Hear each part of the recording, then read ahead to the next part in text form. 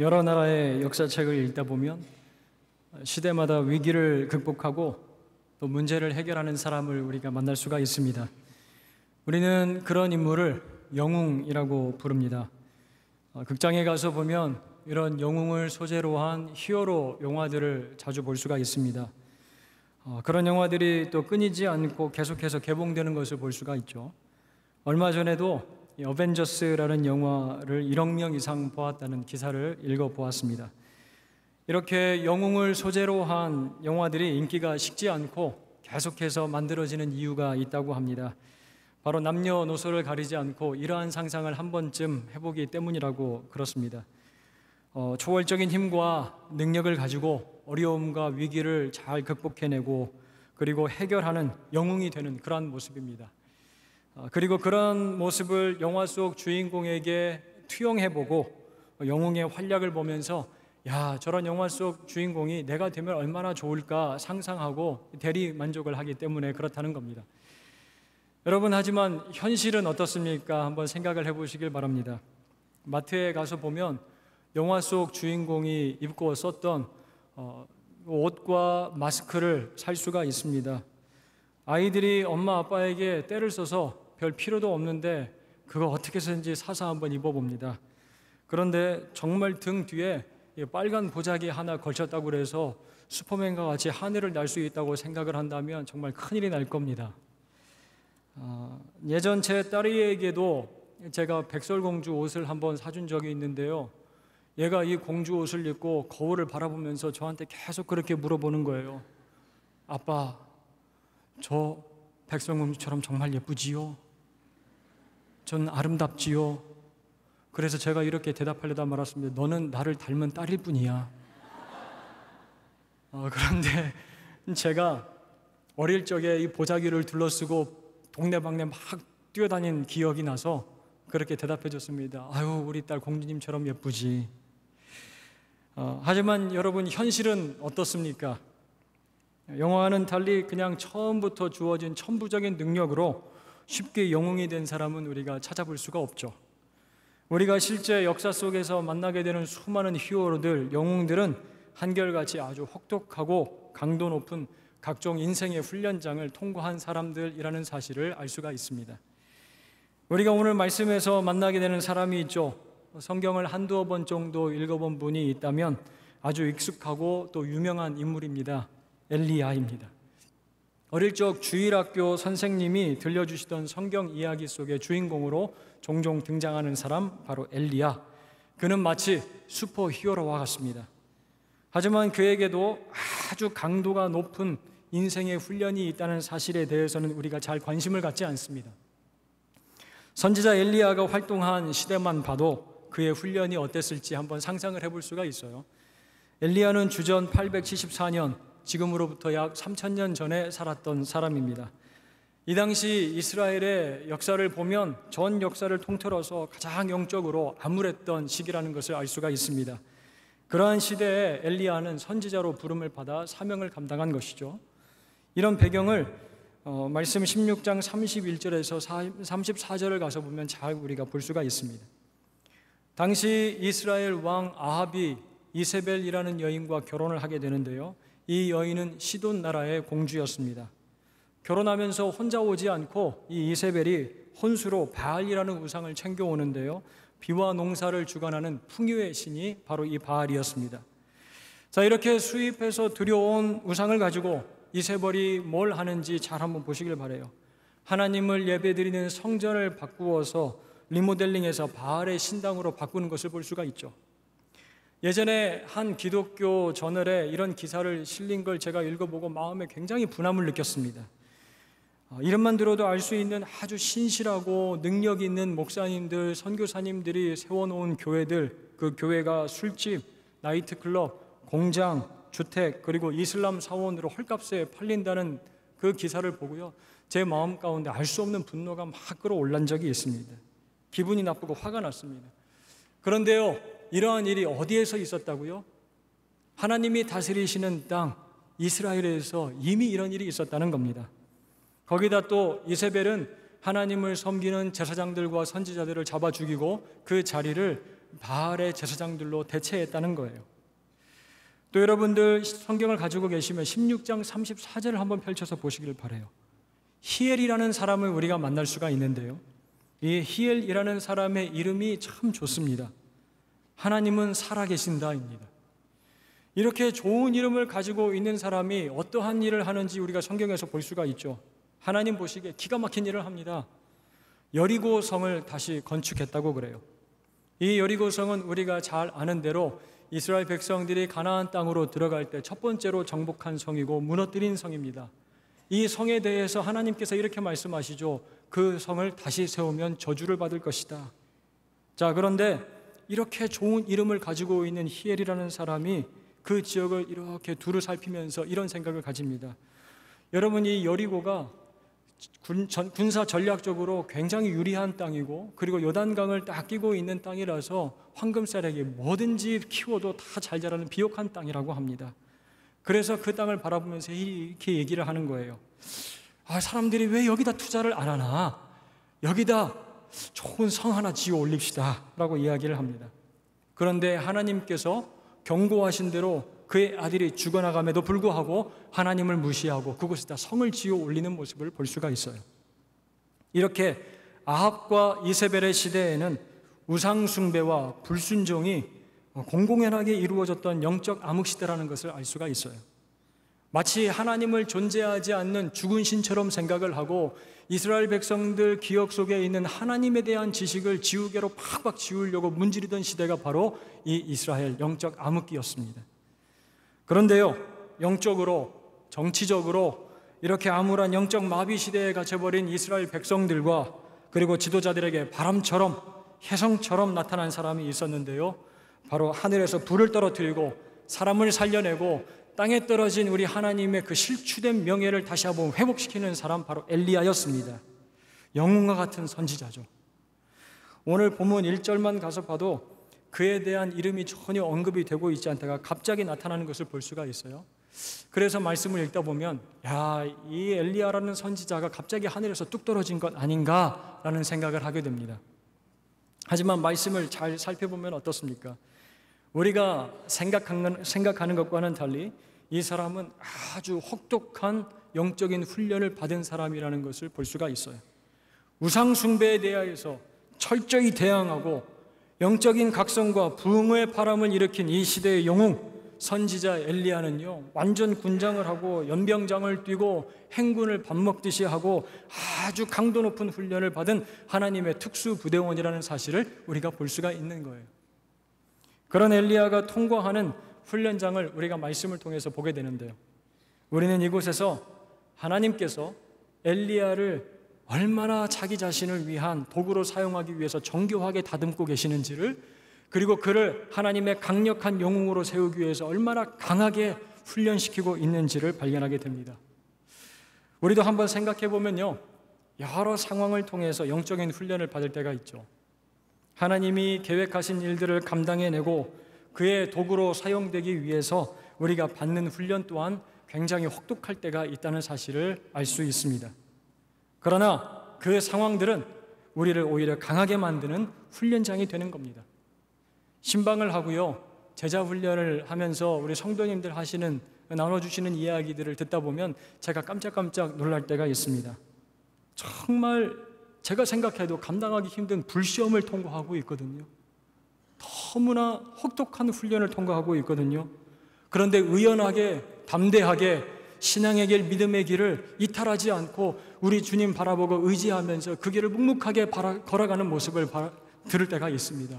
그러면 백발백중 아, 이미 혹독한 훈련을 통과한 분이라는 사실을 알 수가 있어요. 들을 수가 있습니다. 여러분, 우리는 이렇게 여러 인생의 훈련장을 통과하게 되는데요.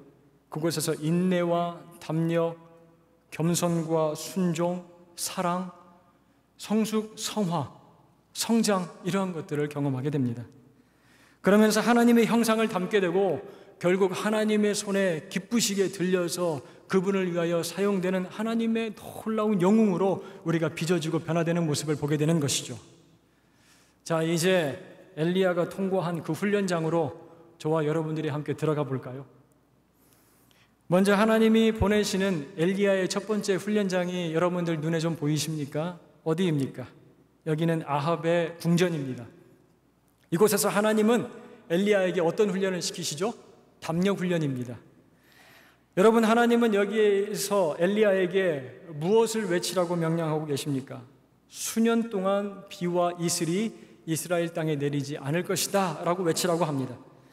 아합과 이스라엘이 깊이 빠져 있는 우상 숭배 정면으로 선전포고하는 내용이 아닐 수 없어요.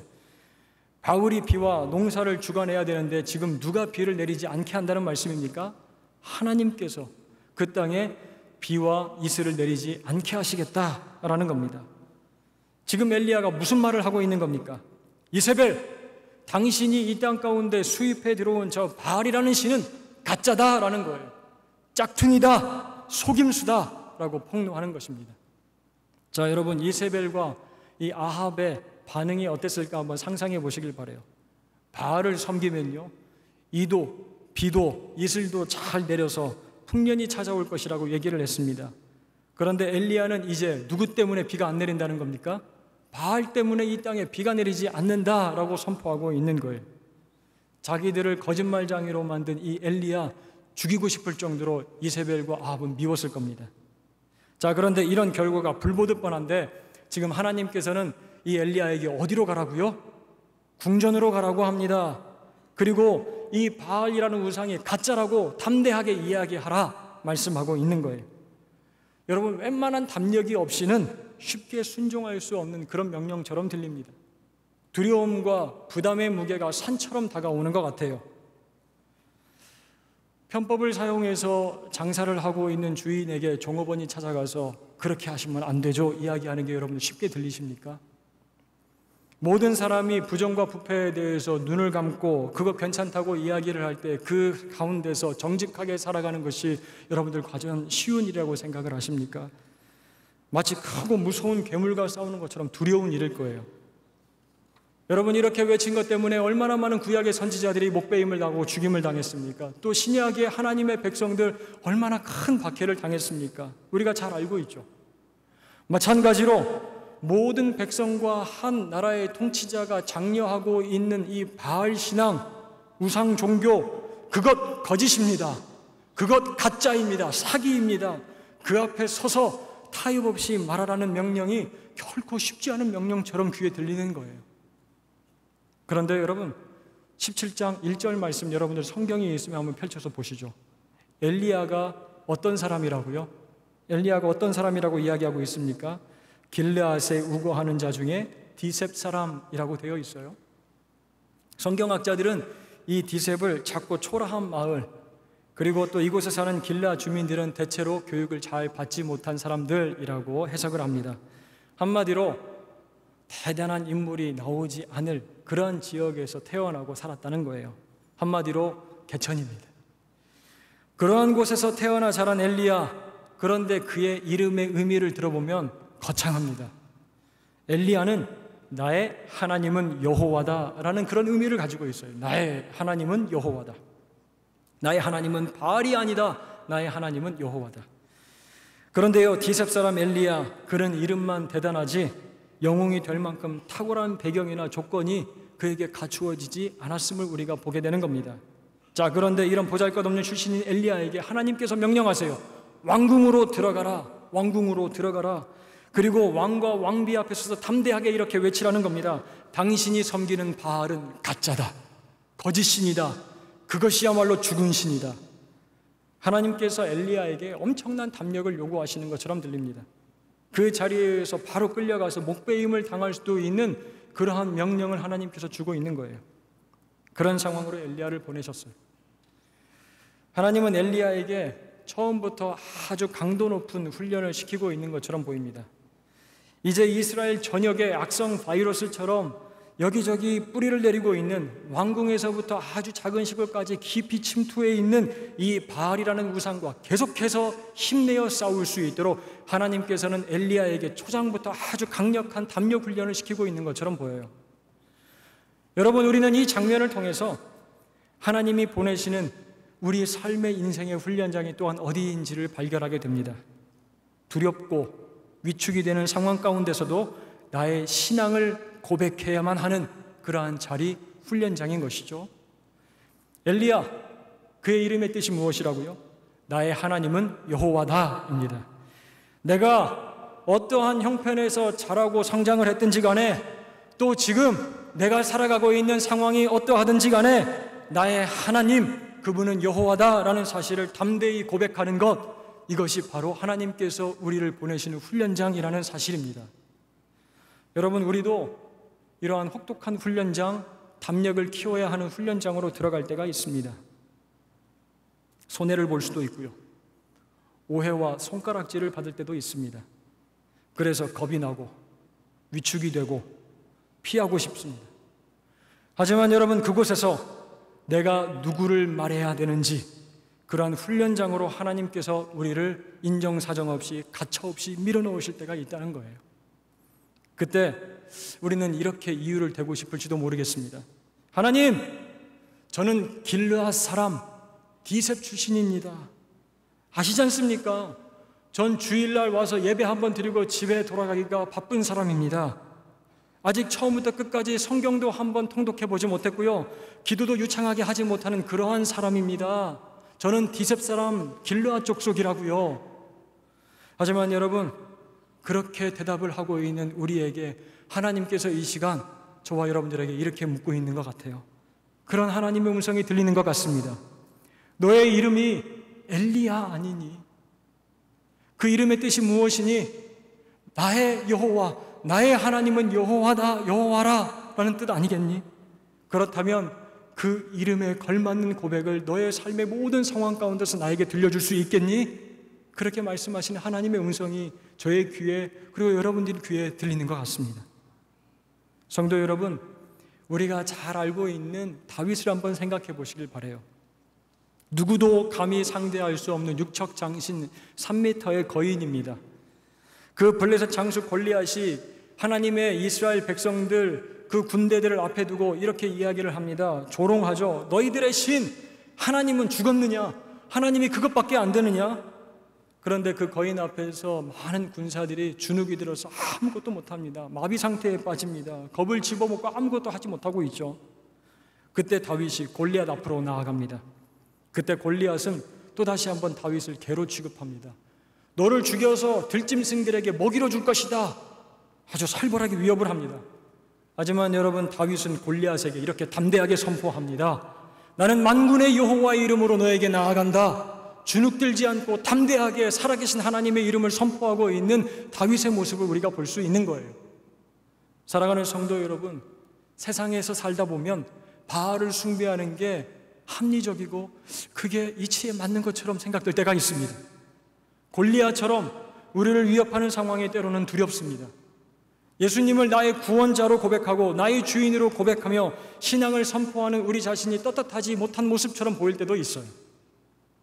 혹시 크리스천으로 이 땅을 정직하게 살아가고 어디서든 내 앞에 놓인 식사에 감사하며 하나님 앞에서 기도하고 전도지를 나눠주고 내가 일하고 있는 직장과 사업장에서 나의 이름은 엘리야야 나는 크리스찬이야 나의 하나님은 여호와다 라고 밝히는 것이 여러분들 부끄러울 때가 있습니까?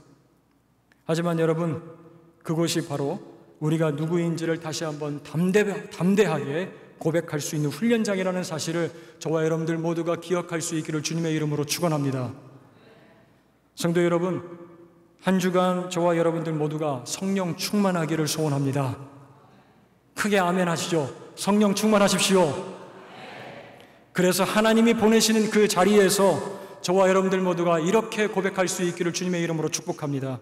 같이 한번 따라하겠습니다. 나의 이름은 엘리야입니다. 나의 하나님은 여호와입니다.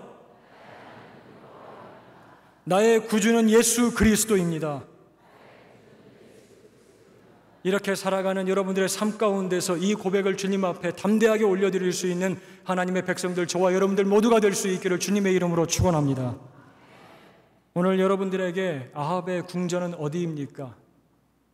바알이 아닌 여호와가 나의 하나님이라고 고백하고 또 선포해야 되는 자리가 여러분 어디입니까? 그곳이 어디든 또 누구이든 성도 여러분 나의 남편에게 나의 아내에게, 나의 부모에게, 나의 자녀에게 내가 일하고 있는 직장과 사업장에서 나는 엘리야입니다. 여러분들 제가 가지고 있는 이름은 각기 다르지만 엘리야라고 선포할 수 있기를 바랍니다. 나의 하나님은 여호와다. 나의 하나님은 살아계신다. 우리가 누구인지 또 우리가 섬기고 있는 하나님이 누구인지를 담대하게 선포할 수 있는 저와 여러분들 될 수 있기를 주님의 이름으로 다시 한번 축원합니다. 그런가 하면 이 훈련을 마치자마자 2절 말씀을 가서 보시면 여호와의 말씀이 엘리야에게 임하는 것을 들을 수가 있어요. 그리고 곧바로 하나님께서 동쪽 요단 앞 그리 시내가에 가서 숨으라 말씀하십니다. 우리는 이 그리 시내에서 엘리야가 통과하게 되는 두 번째 인생의 훈련장이 어떠한 모습인지를 볼 수가 있습니다. 엘리야는 아합과 이세벨을 향하여서 경고했습니다. 타협하지 않고 선포했습니다. 오직 여호와만이 하나님이시다라고요. 하지만 예상과는 달리 엘리야는 생명의 위협을 받게 되죠. 18장 말씀을 가서 여러분들 쭉 읽어 보시면 아합이 엘리야를 죽이려고 하고요. 혈안이 되어서 엘리야를 잡으려고 합니다. 하지만 하나님은 이런 아합 왕의 계획보다 더 치밀하고 신속하게 엘리야에게 명령을 주고 계십니다. 3절과 4절 이 짧은 두 절 안에서 사용된 동사의 수만 보더라도 잘 알 수가 있습니다. 떠나라, 가라, 숨어라, 마시라, 내가 먹이게 하리라 말씀을 하고 계셔요. 하나님께서 굉장히 급하게 하지만 또 신속하게 말씀을 하십니다. 하지만 아주 자세하게 엘리야가 무엇 해야 되는지 가르쳐 주고 있죠. 저는 이 그리 시내가에 이름이 붙어 있다면 인내와 순종의 훈련장이라고 쓰여 있을 것 같았습니다. 왜냐하면 인내하면서 끝까지 하나님께 순종하고 철저하게 하나님만 의지하지 않으면 도저히 살 수 없는 자리가 바로 이 그리 시내가였기 때문에 그렇습니다. 한국에 좀 살아보신 분들은 기억하실 거예요. 민방위 훈련 때 사이렌이 윙 하고 울리면 어떻게 해야 됩니까? 아시죠? 그 자리에 멈춰 서거나 옆에 있는 방공호로 얼른 들어가야 됩니다. 아무리 바빠도 멈춰 서야 되는 거예요. 어릴 적 제가 살던 동네에 방공호가 하나 있었습니다. 그 방공호를 지날 때마다 저의 마음 가운데 궁금함이 있었어요. 저 안에는 도대체 무엇이 들어있을까? 저 안을 들어가면 뭐 재밌는 게 없을까? 항상 궁금했다고요. 그런데 지나가는데 마침 사이렌 소리가 들리는 거예요. 윙 하길래, 아하, 드디어 기회가 왔구나. 그래서 방공호 안으로 막 잽싸게 뛰어 들어갔습니다. 얼마나 실망했는지 몰라요. 덥고 축축하고 곰팡이 냄새가 나고 사람들이 많이 막 가득 들어오니까 막 나가고 싶어서 견딜 수가 없는 거예요. 그런데요, 하나님은 지금 이런 훈련을 엘리야에게 시키고 있습니다. 자, 지금 사이렌이 울렸다. 내가 준비한 방공호로 대피하라. 나의 음성을 따라서 정확하게 순종해서 명령하는 곳으로 가서 숨으라 라고 말씀을 하고 계세요. 그곳이 어디입니까? 바로 그릿 시내가입니다. 그릿 시내가. 여러분 엘리야는 이 그릿 시내가에서 꽤 오랜 시간을 머물렀을 겁니다. 그런데 지금 밖이 도대체 어떻게 돌아가는지도 모르겠고요. 그리고 그 안에서 뭔가 딱히 할 수 있는 것도 없습니다. 그저 무엇 해야 되죠? 숨어 있어야만 합니다. 하나님의 명령대로. 엘리야는 홀로 오랜 침묵 가운데서 어떤 훈련을 받고 있는 것이죠? 인내라는 훈련을 받고 있습니다. 인내. 제가 만약 이러한 상황 가운데 처해 있었다면 그리고 만약 엘리야였다면 하나님께 막 이렇게 따져 묻고 싶었을 것 같아요. 아니 하나님, 제가 지금 이러고 있는 게 맞는 것 맞습니까? 이게 웬 시간 낭비입니까, 하나님? 담대하게 왕에게 들어가서 전쟁을 선포했다면 왕궁까지 들어가서 바알이 가짜라고 이야기를 했으면 골목골목 다니면서 그 실체를 제가 폭로해야 되지 않겠습니까? 그런데 이런 답답한 방공호 같은 데 갇혀서 왜 이렇게 시간을 낭비해야 되는 겁니까? 여기에 처박혀 있으면 어떻게 합니까? 이제 영웅으로 이 세상에 빛을 비추면서 제가 나아가야 되지 않겠습니까? 하지만 여러분, 하나님이 엘리야를 향하여 가지고 계시는 계획이 무엇입니까? 생각해 보면요. 이 그리 시내가 엘리야에게 있어서 하나님이 주시는 얼마나 필요 적절한 훈련인지 모르겠습니다. 훈련소에 들어가서 총을 처음 쏠 때는 어떻습니까? 야, 이 총이 잘못 나가면 어떻게 하나? 굉장히 주의하죠. 조심해서 총을 쏘봅니다. 그런데 몇 번 사귀겠다고 아이고 이거 뭐 별거 아니네 하면서 총을 아무렇게나 쏘면 어떻게 합니까? 큰 사고가 나는 거죠. 그리고 공사 현장에서도 아유 내가 여기를 몇 년 동안 일을 했는데 하면서 안전기구를 잘 갖추고 갖추지 않고 그냥 들어가면 어떻습니까? 큰 사고를 당할 수가 있는 거예요. 여러분 믿음의 길을 걸어갈 때도 마찬가지입니다. 주위에서 한번 잘 들어보시길 바래요. 담대함은 방심과는 분명히 다른 자세입니다. 담대함은 방심과는 전혀 달라요. 큰일 한 건 했다. 아, 이제 훈련 다 끝났다. 이제 기도 없어도, 말씀이 없어도 더 크고 위대한 일을 내가 감당할 수 있을 거야. 이러한 자세는 담대함이 아니라 여러분, 방심입니다. 그때 하나님께서 우리를 다른 인생의 훈련장으로 밀어 넣으시는 거예요. 그리 시냇가로 가라 명령하십니다. 그곳에서 우리는 아주 강도 높은 인내의 훈련을 받게 되는 겁니다. 그런가 하면 그리시네가에서 또 한 가지 받는 엘리야의 훈련이 있는데요. 무엇입니까? 하나님의 공급하심이 없으면 나는 죽을 수밖에 없는 존재구나 라는 훈련입니다. 하나님께 온전히 순종하고 철저하게 의지하는 훈련입니다. 여러분 엘리야에게 음식을 물어서 공급한 새가 무엇이라고요? 2부 예배 때는 크게 누가 대답하시던데 까마귀야! 불길하게 까마귀입니다. 제 아내가 새를 싫어해서 이 말씀을 읽어주는데 그렇게 얘기를 하는 거예요. 나는 아마 그리시네가 있었으면 굶어 죽었을걸? 그래서 제가 이렇게 물었습니다. 하나님, 왜 까마귀입니까? 성경을 보면 온순하고 거룩한 짐승, 양이나 사슴, 이런 좋은 동물들도 참 많지 않습니까? 그리고 용맹스러운 독수리나 매, 아니면 노아의 홍수 때 올리브 잎을 입에다 물고 와서 좋은 소식을 전해준 비둘기도 있는데 하나님 왜 시커먼 까마귀를 보내셨습니까? 또 이 까마귀는 레위서를 가서 찾아보니까 이 시체 위에 앉는 짐승이라서 새라서 사람들이 꺼려했다는 거예요.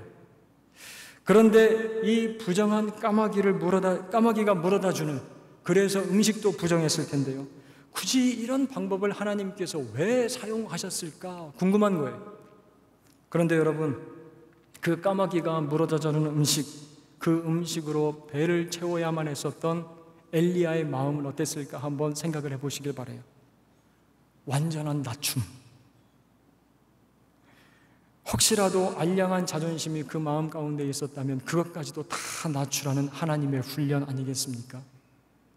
찬밥, 더운 밥 가리지 않고 하나님께서 주시는 대로 그것이 부정하든 정하든 하나님께서 공급해 주시지 않으면 나는 죽을 수밖에 없는 인생이다 라는 사실을 깨닫는 훈련입니다. 하나님 없이는 나는 아무것도 할 수 없습니다. 연약한 존재라는 것을 깨닫는 자리가 바로 이 그리시네가였을 겁니다.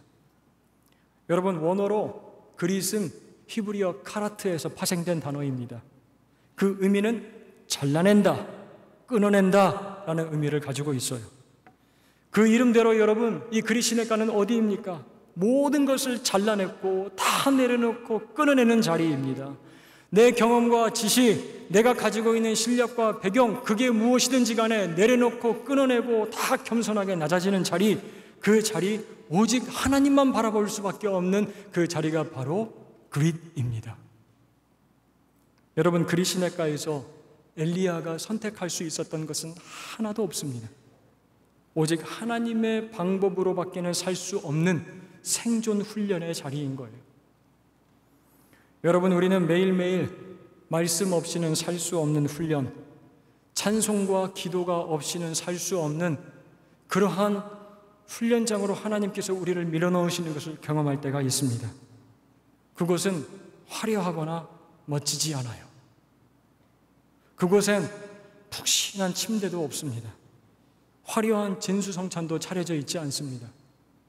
그곳은 부정한 까마귀가 날라다 준 떡과 고기 딱 한 끼 하나님께서 주시는 양식으로 하루하루 살 수밖에 없는 그리 시내가입니다. 이곳은 고급 호텔이 아닙니다, 여러분. 인내와 하나님께 대한 순종 그리고 철저한 의지를 배우는 훈련장입니다. 그곳에서 나는 영웅이 아니라 카라트, 모든 것을 잘라내고 끊어내고 다 내려놓은 하나님의 훈련병일 뿐입니다. 혹시 이런 훈련장을 여러분들과 제가 통과하고 있는지 모르겠습니다. 답답한 방공호처럼 야, 언제쯤 이곳에서 내가 빠져나갈 수 있을까 생각하게 만드는 곳. 하지만 하루하루 하나님이 은혜를 주시지 않으면 도저히 살 수 없을 것 같은 그런 곳, 그 그리시네역과 같은 인생이 저와 여러분들이 지금 통과하고 있는 훈련장이십니까? 그렇다면 여러분들 한 가지를 꼭 기억하시길 바랍니다. 슬퍼하거나 낙심하거나 두려워하지 않길 바랍니다. 왜냐하면 그곳이 우리를 하나님 나라의 온전한 제자, 하나님께서 기뻐하시는 영웅으로 빚어지고 온전하고 변화되는 훈련장, 영광로이기 때문에 그렇습니다. 얼마 전 한국에서 함께 사역하던 목사님과 제가 통화를 했습니다. 경기도 외곽 지역에서 개척을 하시고 이제 10년 넘게 사역을 하시는데 남에게는 쉽게 털어놓지 못하는 이야기들을 저에게 쭉 들려주시는 거예요. 이 목사, 성도들과 함께 마음껏 소리 높여서 기도하고 싶고 찬송하고 싶은데 그렇게 하지를 못한다. 우리 교회가 상가에 있어서 아래 위층에서 조금만 기도하고 조금만 찬송 부르면 막 성질을 내. 2, 30명 남짓 때는 성도가 힘써서 재정을 세워도 사례가 넉넉치 않아서 요즘 몸이 불편하신 분들을 내가 씻겨드리는데 오늘도 연명이나 씻기고 와서 몸이 되게 피곤하다. 술 먹고 찾아와서 교회 앞에서 행패를 부리고 교회 앞에다 오물도 뿌려놓고 간다. 아프지만 일해야 되는 아내와 마음껏 공부를 시켜주고 싶은 아들들, 그 아들들을 보면 미안한 마음이 한이 없어. 그런데 이 목사, 내가 한 가지 자네에게 자랑하고 싶은 게 있다. 이러한 상황 가운데서도 난 하나님 없이 살 수 없음을 경험하고 살아. 내가 지금 숨 쉬고 살아가는 것, 이렇게라도 목사로서 목회하면서 살아가는 것이 얼마나 감사한지 몰라. 하나님께서 허락해 주신 사역의 자리에서 우리 멋지게 사명 감당하다가 또 다시 웃는 모습을 한번 만나자. 그렇게 얘기하는 거예요. 제가 그 목사님의 이야기를 듣는데 이런 생각이 드는 거예요. 하나님, 이 목사님이 걸어가고 있는 이 인생의 훈련장이 고난의 자리가 아닙니다. 하나님 고통의 자리가 아닙니다. 오히려 이 훈련장이 살아계신 하나님을 경험하는 아주 멋진 훈련장 아니겠습니까? 하나님이 목사님을 붙들어 주세요. 그래서 이 훈련장을 잘 통과한 뒤에 영웅과 같이 하나님을 위해서 멋지게 사용될 수 있도록 하나님께서 기름 부어 주세요. 라는 기도가 저에게서 나오더라고요. 지난주에 저는 제 아버지 장례를 다 마치고 다시 돌아오는 비행기에서 지금은 이제 천국에 계시지만 제가 참 의지하고 사랑했던 아버지를 더 이상 볼 수 없다는 생각에 마음이 참 허전했습니다. 그리고 이제 일상으로 돌아와서 이전과 똑같이 살아가지만 순간순간 아버지 얼굴이 생각이 나면 문득 문득 마음이 먹먹해지는 거예요. 그런데 요즘 저를 견디고 버티게 해주는 자리가 있었습니다. 제자 훈련 지원한 분들 인터뷰하는 시간이었어요. 때로는 지원하신 분에게 오히려 제가 이렇게 묻고 싶더라고요. 아니, 어떻게 견디셨어요? 아니, 어떻게 그런 상황 가운데서 버티셨어요? 암에 걸렸다는 의사의 진단을 듣는 자리에서 자녀가 사고로 병원에 실려갔다는 소식을 듣는 앞에서 그동안 고생해서 모았다는 모든 것들이 사라져 버리고 해결되지 않는 신분 가운데서 불편한 삶을 살아가고 있는 그 자리에서 도대체 어떻게 견디셨어요? 라고 묻고 싶은 마음이 들더라고요. 그런데요, 이러한 혹독한 인생의 길을 걸어오신 분들이 훈련 인터뷰의 자리에 와서 저에게 그렇게 말씀을 하세요. 예수님 닮고 싶어서요. 하나님 참 많이 사랑해서요. 하나님 손에 붙들려서 한번 사용되고 싶어서요. 사랑하는 성도 여러분, 하나님은요, 우리를 인생의 훈련장으로 이끄십니다. 아합의 궁정과 같은 세상 가운데서 담대히 바알은 가짜라고 외치고요. 나의 하나님은 여호와라고 고백하게 만드십니다. 오랜 시간 답답한 방공호와 같은 일상에 숨어지는 것 같지만 까마귀 하루하루 그것이 물어다 주는 양식 하나님의 은혜와 말씀 없이는 기도 없이는 도저히 살아갈 수 없는 그런 상황 가운데로 우리를 밀어넣으실 때가 있습니다. 그러나 그곳에서 우리는 절망을 경험합니까? 고통을 경험합니까? 낙심합니까? 그렇지 않아요. 변화를 경험합니다. 하나님께서 우리를 어떻게 만지고 계시는지 하나님의 놀라운 능력의 손길을 경험하는 거예요. 갈 길을 알지 못했지만 하나님의 음성을 듣고 고향을 떠난 아브라함의 훈련, 사람들의 조롱 앞에서도 묵묵하게 방주를 지어 올린 노아의 모습, 40년 광야 생활 가운데 양떼를 치면서 인생을 훈련한 모세, 사흘 동안 볼 수 없고 먹지 못하고 그리고 마시지 못하면서 회개한 사도 바울의 모습, 40일 동안 광야에 들어가서 주님께서 맡겨주신 하나님께서 맡겨주신 그 십자가를 지기 위하여서 그렇게 기도하신 예수님의 모습 모두가 하나님의 영웅으로 귀하게 쓰이기 전에 인생의 훈련장을 통과했다는 사실을 우리가 너무나 잘 알고 있지 않습니까? 여러분, 우리가 통과하는 여러 인생의 훈련장, 그곳에서 하나님은 무엇을 하고 계십니까? 귀를 닫고 눈을 감고 저희들을 보지 않는 것 같고 저희들을 듣지 않는 것 같으십니까?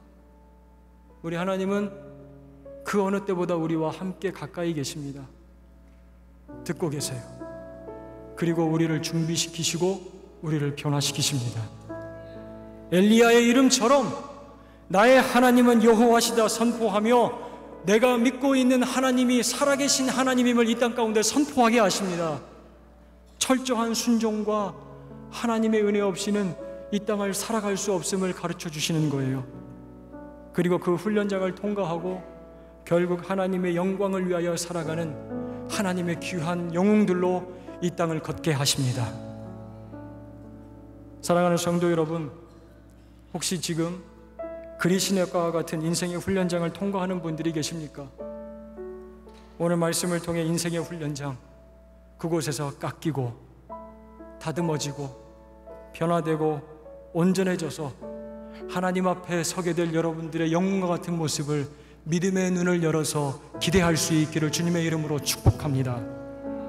그래서 인생의 훈련장을 잘 통과하고 결국 가서는 이렇게 고백하는 나의 하나님은 여호와시다. 그분은 살아계신다. 나의 주인은 예수 그리스도시다. 그분 없이는 하루도 살 수 없습니다. 라고 고백할 수 있는 저와 여러분들 KCPC의 모든 성도들 되시길 주님의 이름으로 축원합니다.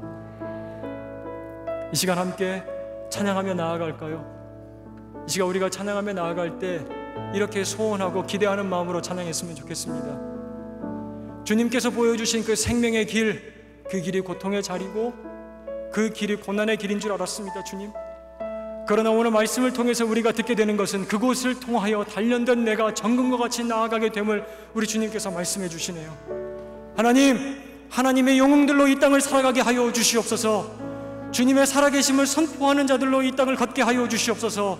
그렇게 소원하는 마음을 가지고 우리가 이 찬양 하나님 앞에 함께 올려드리며 소원하는 마음을 가지고 나아갑시다. 주가 보이신 주가 보이신 생명의 길나 주님과 함께 상한 마음을 들이며 주님 앞에 나아가리 나가리 나의 의로움이 되신 하나님 의로움이 되신 그 이름 예수. 그 이름 예수. 나의 길이 되신 이름 길이 되신 이름 예수. 나의 길. 나의 길. 오직 그가 아시나니 나를 단련하신 후에. 단련하신 후에. 내가 정금같이 나아갑니다 정금같이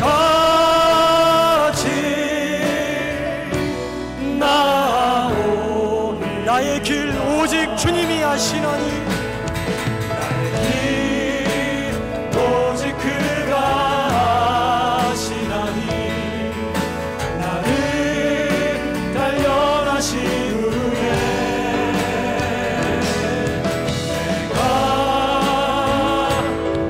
시간 두손 높이 들고 하나님 앞에 찬양하면서 나아갑시다. 나의 길 오직 주님이 아십니다. 두 손 높이 들고 찬양합시다.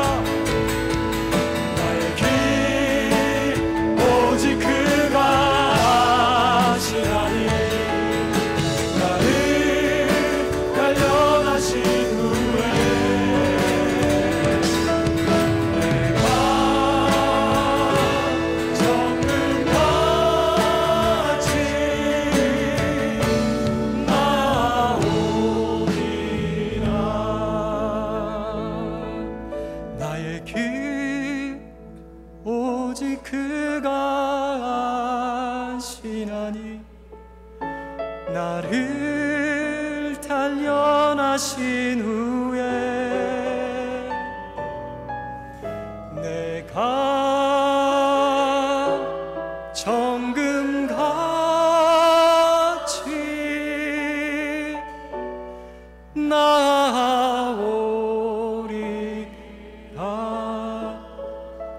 여러분들 이 사실을 믿으십니까? 우리 주님께서 걷게 하시는 길은 사망, 절망, 그러한 길이 아니라 생명의 길임을 고백하였습니다. 상한 마음을 들이며 주님 앞에 나아가길 바랍니다. 우리의 의로움이 되신 예수 그리스도 그분을 의지하며 하나님 앞에 나아가는 저와 여러분들 되기를 소망합니다.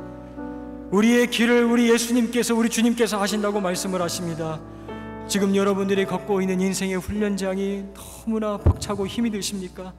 그래서 그 길을 걷는 동안에 우리의 입술 가운데서 이러한 탄식이 터져 나옵니까? 하나님, 이제 그만 걷고 싶습니다. 하나님, 여기서 멈춰 서고 싶습니다. 하나님, 제가 감당할 수 없을 것 같습니다. 그러나 오늘 말씀을 통하여서 우리에게 보여주십니다. 이 인생의 훈련장을 통과하고 나면 하나님의 손에 기쁘시게 붙잡혀서 하나님의 영웅으로 사용되는 모습 오늘 말씀을 통하여 우리들이 보았습니다. 하나님 이 약속의 말씀을 붙들고 하나님 그렇게 살아가는 우리 모두가 되게 하여 주시옵소서. 우리 주님께서 허락하여 주신 그 훌- 인생의 훈련장을 통과하는 우리 모두가 되게 하여 주시옵소서. 그리하여 정금과 같이 담대한 모습으로 인생을 살아가는 하나님의 백성들이 되게 하여 주시옵소서.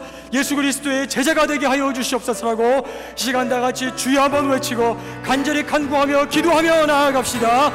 주여 아버지 하나님 이 시간 저희들 소원하며 나아갑니다. 하나님 우리 주님께서 아버지 하나님 저희들을 통과하게 하시는 그 인생의 훈련장 그곳으로 아버지 하나님 우리가 나아가기를 원합니다.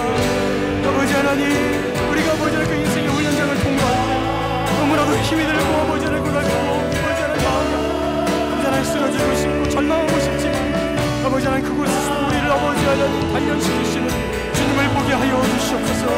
아버지 하나님 그리시는 아버지 하나님 인생의 훈련장. 아버지 하나님 그아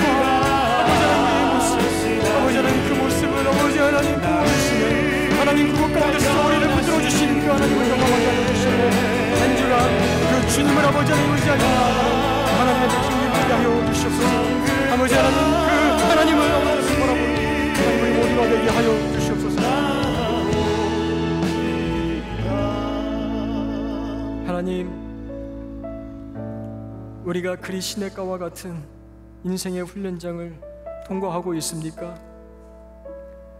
그곳에서 너무나 힘이 들고 고달파 우리의 입술로 그렇게 탄식하진 않습니까? 하나님 여기에서 그만 멈췄으면 좋겠습니다. 이 훈련 그만 끝냈으면 좋겠습니다. 하나님 저는 길르앗 사람 디셉 출신입니다. 저는 할 수 있는 것이 없는 건 아시지 않습니까? 그러나 하나님께서는 우리에게 이렇게 말씀하고 계십니다. 인생의 훈련장을 담대하게 통과하라. 내가 너를 먹이겠다. 내가 너를 붙들겠다. 하나님 오늘 말씀을 통하여 들려주신 이 말씀 붙들게 하여 주시옵소서. 하나님 우리의 통과하고 있는 인생의 훈련장이 어떠한 모양이든지 하나님 그것을 담대하게 통과하는 주님의 백성들이 되게 하여 주시옵소서. 그래서 결국 빚어지고 다듬어지고 온전케 되어 하나님께서 기뻐하시는 영웅으로 이 땅을 승리하며 살아가는 주님의 백성들이 되게 하여 주시옵소서. 예수 그리스도의 담대한 제자들이 되게 하여 주시옵소서. 이 말씀 붙들고 오늘 한 주간 이 한 주간 승리하면서 살아가는 하나님의 백성들 되게 하여 주시옵소서. 지금은 우리를 모든 죄에서 구원하여 주신 우리 주 예수 그리스도의 은혜와 하나밖에 없는 독생자 보내어 주신 하나님의 극진하신 사랑과 구원의 능력 가운데 살게 하시는 성령님 감동감화 교통 충만하심이 인생의 훈련장 그 그리스를 지나길 원합니다. 그래서 주님께서 기뻐하시는 영웅으로 이 땅을 승리하며 살아가기를 소원합니다. 고백하며 나아가는 주의 백성들 그 머리와 심령과 생활과 가정과 그리고 발로 밟는 모든 땅 위에 지금으로부터 영원토록 항상 함께 있을지어다. 아멘.